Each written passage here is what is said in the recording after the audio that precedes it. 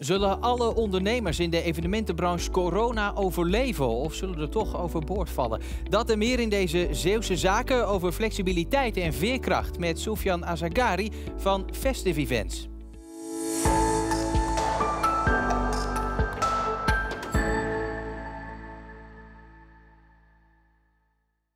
Het is een van de branches die natuurlijk enorm geraakt is door de coronacrisis. En juist een branche die zoveel wil.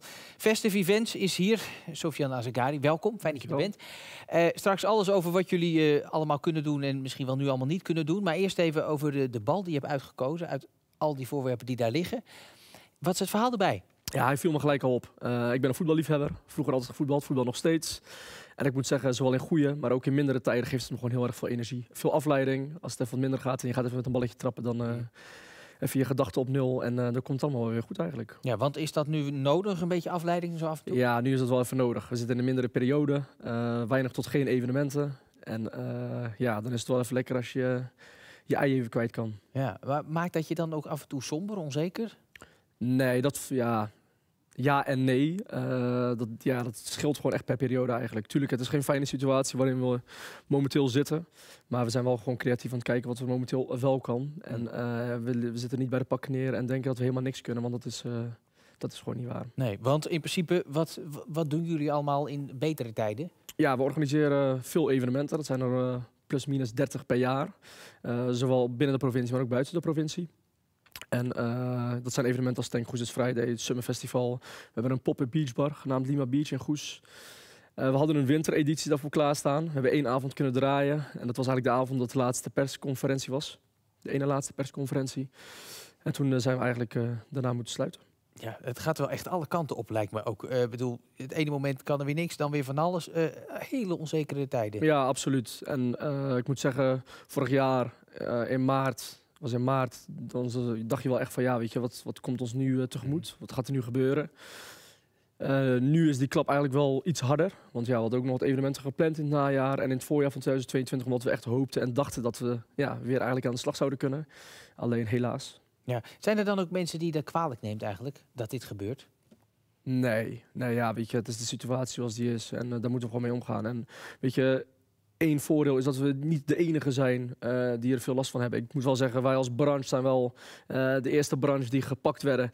En die weer als laatste echt aan de slag mogen. Dus dat is aan de ene kant wel pijnlijk, maar er zijn genoeg evenementorganisatoren, zowel in Zeeland als in Nederland, die er gewoon ontzettend veel last van hebben. Ja. En samen haal je daar wel kracht uit. Je ja. steunt elkaar en je communiceert, je praat er gewoon veel over. Hm. Nou, laten we dan naar de stelling gaan. Die sluit daar uh, redelijk op aan. Alleen de super creatieve ondernemers in de evenementenbranche overleven corona moeilijke stelling. Uh, ja, ik hoop allereerst dat alle creatieve ondernemers, want ik vind evenement, evenementondernemers vind ik sowieso uh, creatief. Ja. En ik hoop gewoon dat ze het allemaal overleven. Ik bedoel, ik vind onze, onze branche echt geweldig. En uh, het zorgt voor veel werkgelegenheid. Het brengt mensen bij elkaar. er ontstaan relaties. Mensen trouwen. Mensen krijgen kinderen door ontmoetingen op evenementen. Dus ik denk dat het gewoon zaak is dat we gewoon allemaal sterk blijven en dat het gewoon overleven. Ja, maar kan dat? Ik hoop het. Ik hoop het. Ik hoop dat iedereen gewoon zijn creativiteit kan benutten en uh, op een of andere manier er toch doorheen komt. Ja, want uh, als je creativiteit benut, dan kan je ook in dit soort gekke tijden nog wel van anders doen. Ja, nee, we hebben bijvoorbeeld vorig jaar zijn er natuurlijk heel erg veel livestreams geweest. Uh, is in principe best wel een alternatief. Alleen je merkt toch wel dat de ontmoetingen het meest uniek zijn. Het samen zijn met mensen. En bij een livestream kijk je gewoon naar een televisiescherm. Vorig jaar hebben we dat gedaan met Oud en Nieuw voor de jongeren in Goes in Zeeland.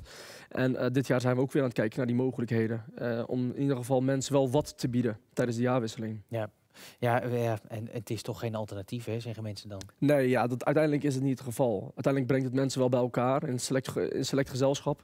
Maar het is niet net als dat je naar een evenement gaat. Want daar sta je gewoon met duizenden mensen en is het een stuk leuker en ja. spontaner. Maar het moet voor jullie ook wel geruststelling zijn aan de andere kant... dat het niet zo is dat we naar een samenleving toe gaan waarin alles digitaal wordt. Want je ziet dat we nu dat even nou ja, soort van kunnen proberen. En dat werkt niet. Mensen willen toch gewoon eh, face-to-face uh, mensen spreken. Ja, nee, zeker. Dat geeft een goed gevoel. Absoluut. Ja. Ik bedoel, en ik hoop dat we dat nog uh, tientallen jaren zo mogen beleven. Ik bedoel, het is, uh, evenementen zijn wel gewoon bijzondere activiteiten. En wat ik zeg, er ontstaan, ontstaan gewoon geweldige momenten. En het zijn herinneringen voor, voor het leven. Ja, wat, dus wat maakt het zo leuk om die te organiseren? Nou ja, weet je, allereerst, je krijgt gewoon heel veel positieve energie van de bezoekers.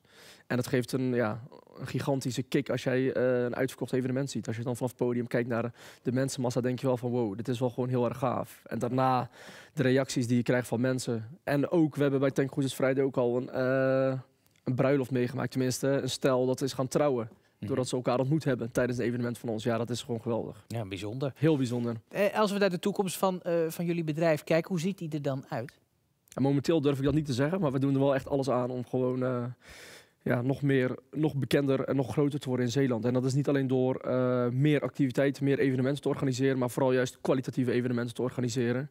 Dus uh, het gaat niet altijd om kwantiteit, maar vooral om kwaliteit. En daar zijn we nu gewoon heel erg druk mee bezig. Dus we zijn aan het plannen voor het volgende kalenderjaar en vooral aan het kijken van hoe we de kwaliteit kunnen verbeteren. Ja, uh, mensen zullen zeggen, Zeeland is nou niet de provincie waar het gebeurt. Nee. Is dat dan voor jullie eigenlijk een voordeel dat je hier zit uh, of een nadeel? Ja, een voordeel zeker. Uh, een voordeel en een nadeel tegelijkertijd. Want wat je ook wel merkt dat mensen ook heel snel zeggen van ja, als ik naar Rotterdam ga, dan kan ik die en die zien of een grotere artiest. Ja. Alleen ik denk dat wij nu wel juist behoorlijk ingesprongen zijn door ook de grotere artiesten naar Zeeland, naar, naar Zeeland te halen. Mhm. En ik denk dat wij ons daar ook wel deels mee onderscheiden. Ja, maar lukt dat dan?